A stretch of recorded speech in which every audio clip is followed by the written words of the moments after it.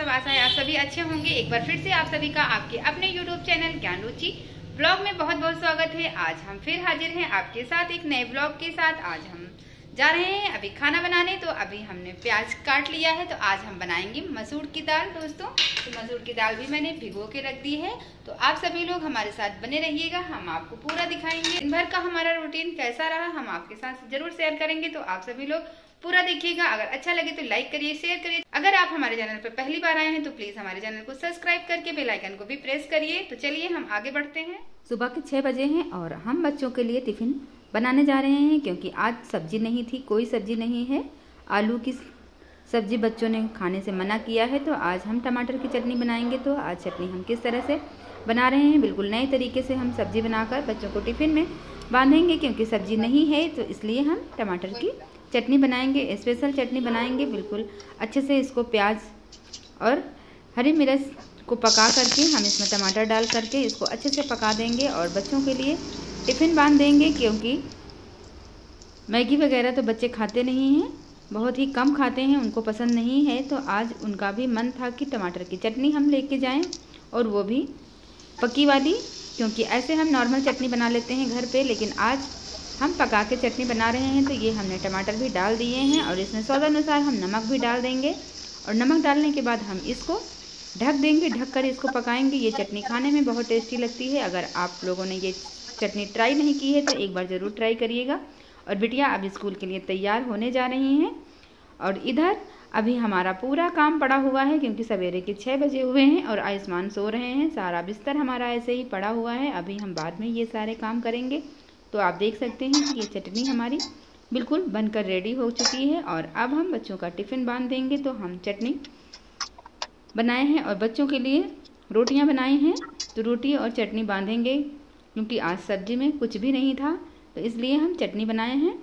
Tiffin बांधना भी बहुत ज़रूरी होता है दोस्तों, क्योंकि बच्चे हमारे डेढ़ बजे के बाद ही घर पहुँचते हैं तो बहुत उनको भूख भी लगी होती है तो इसलिए कुछ ना कुछ तो देना ज़रूरी होता है। और अब बच्चे निकल रहे हैं क्योंकि सात बज चुके हैं और बिटिया हमारी दोनों तैयार हो गई हैं और पापा के साथ जाएँगी। तो पापा इनको छोड़ने जाएँगे स्कूल और छोड़कर उधर से अपने ऑफ़िस भी चले जाएँगे क्योंकि इनका ऑफ़िस भी साढ़े सात बजे से है। तो उधर ये सात बजे बच्चों को छोड़ते हैं और उसके बाद साढ़े सात बजे अपने ऑफ़िस भी चले जाते हैं। कर ले।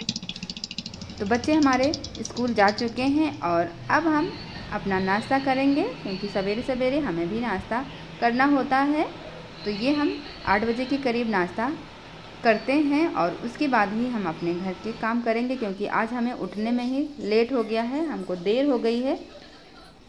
सुबह हम काफ़ी देर तक सोते रहे क्योंकि कल रात में हम जगे थे। देर तक आयुष्मान की तबीयत सही नहीं थी, उनको सर्दी थी तो इसलिए वो सो नहीं पाए तो उन्हीं के साथ हमको भी जगना पड़ा। तो ये अभी हमारा झाड़ू वाड़ू लग रहा है क्योंकि ये सवेरे के साढ़े आठ बजे हुए हैं और साढ़े आठ बजे हम अपना झाड़ू लगा रहे हैं, घर की साफ़ सफ़ाई कर रहे हैं और उसके बाद ही हम आगे के काम करेंगे। अभी हमने नहाया भी नहीं है, नहा धो करके ही हम खाने की तैयारी करेंगे। तो अभी हमारा झाड़ू भी लग गया है और अभी पोछा भी हमारा लगना बाकी है। झाड़ू लगाने के बाद हम पोछा लगाएँगे। तो ये झाड़ू वाड़ू हमने अच्छे से लगा ली है, क्योंकि एक बजे तक हमें खाना भी बनाकर रेडी करना रहेगा। तो इसलिए ये सारे काम हमें जल्दी जल्दी ही करने रहते हैं सवेरे सवेरे, क्योंकि सबसे ज़्यादा टेंशन रहती है झाड़ू पोछे की, जब तक घर के ये काम नहीं होते हैं, तब तक बहुत भारी भारी सा लगता रहता है, क्योंकि साफ़ सफ़ाई के बिना तो कुछ भी करना अच्छा नहीं लगता, इसलिए साफ़ सफ़ाई करना बहुत ज़रूरी होता है। अभी हम दाल छौंकने जा रहे हैं तो हमने कुकर चढ़ा दिया है, और कुकर में हमने तेल भी डाल दिया है तो हम लहसुन और अदरक हरी मिर्च भी हम इसमें डाल देंगे।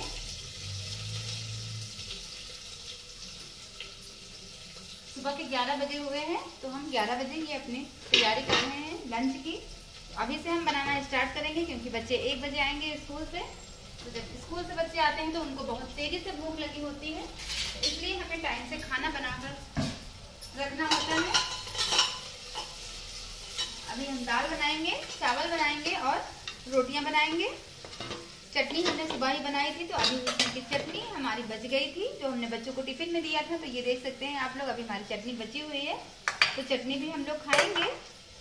मसूर की दाल बनाएँगे, मसाले वाली, चावल और रोटी।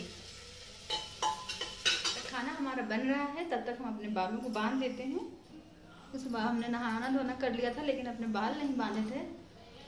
तो अभी हम बाल बाँध देंगे।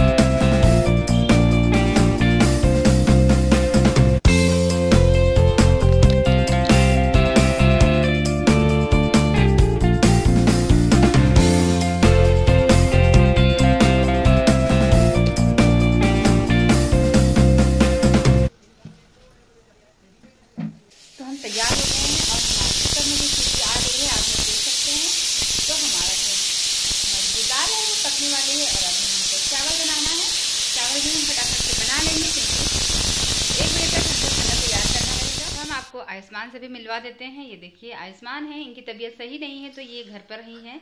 आज कई दिनों से इनकी तबीयत नहीं सही है तो ये घर ही पे रह रहे हैं। इनके हाथ पैरों में बहुत दर्द था और इनको फीवर भी आ गया था। तीन चार दिन ये बुखार से परेशान रहे हैं। उसके बाद ये पार्क घूमने गए हैं। पार्क घूम के आए हैं। पूरा सुबह टाइम ये गर्मी में रहे हैं और गर्मी से आने के बाद एकदम से ये एसी वाले रूम में आ गए हैं, जिसके कारण इनको सर्द और गर्म हो गया है और सर्दी गर्मी के कारण इनको जुकाम भी हो गया है तो ये देखिए, इनका चेहरा कितना उतरा हुआ है। तो अभी हमने इनको दवा ववा पिला दी है, हमने इनको डॉक्टर को दिखाया था तो डॉक्टर ने दवाइयाँ दी थी तो हमने इनको दवाइयाँ खिला दी हैं। और इनका ज़्यादा ऑयली चीज़ें अभी डॉक्टर ने मना किया है, इनके गले में खराश है, बहुत ज़्यादा इनको छाती पे बलगम भी जमा हुआ है तो डॉक्टर ने इनको ठंडी चीज़ें खाने से मना किया है, ठंडा पानी पीने से मना किया है तो ये इस समय बस घर ही पे रहते हैं और पूरा दिन इनका कार्टून चलता रहता है। तो ये बहुत कार्टून देखते हैं। अभी इनका चाय नाश्ता हो गया है। हमने इनको दवाइयाँ भी खिला दी हैं। तो इस समय इनकी तबीयत खराब है, जिसके कारण ये स्कूल नहीं जा रहे हैं। बस घर पे ही रह रहे हैं। और पूरा दिन इनको देखिए आप देख सकते हैं कि इनको खांसी भी आ रही है तो इनकी दवाइयाँ चल रही हैं। तो आज फिर हमको जाना है इन्हें लेकर के डॉक्टर के यहाँ। फिर से हम दिखा दिखाने जाएँगे इनको क्योंकि डॉक्टर ने बुलाया था तीसरे दिन आने के लिए कहा था तो आज हम इनको लेके जाएँगे। अभी हम लोग खाना खा रहे हैं आयुष्मान खा रहे हैं और हम दोनों लोग एक साथ खाना खा रहे हैं। बच्चे अभी नहीं आए हैं।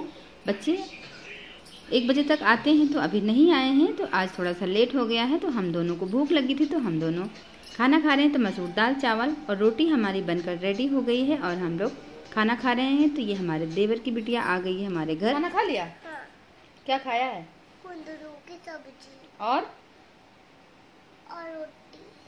कुंदरू की सब्ज़ी और रोटी खाई खा के आई हो? हाँ। अच्छा। और मम्मी क्या कर रही हैं? मम्मा सो सो रही मम्मा? हाँ। और भैया कहाँ भैया गए स्कूल। तुम क्यों नहीं गई स्कूल? क्योंकि आज पता चार्ट पेपर से मुझे मैंगो बनाना था। मैंगो बनाना था इसलिए स्कूल नहीं गई? हाँ क्योंकि मेरे पास चार्ट पेपर ही नहीं था। चार्ट पेपर पापा से बोलती लेके आते? वो लेके ही नहीं आते। वो लेके नहीं आते? मम्मी से कहती मम्मी लेके लेके आती? मम्मा मुझे डांटती है। डांटती हैं?